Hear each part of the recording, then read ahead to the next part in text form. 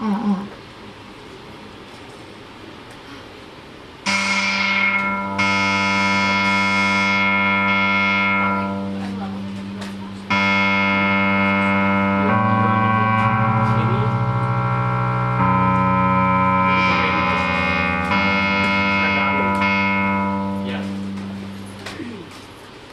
On tour, everything on my keyboard is broken, so I always have to like get my keys out and start sticking them into these things. In case you were wondering what I was doing. Is that why it's called a keyboard? What?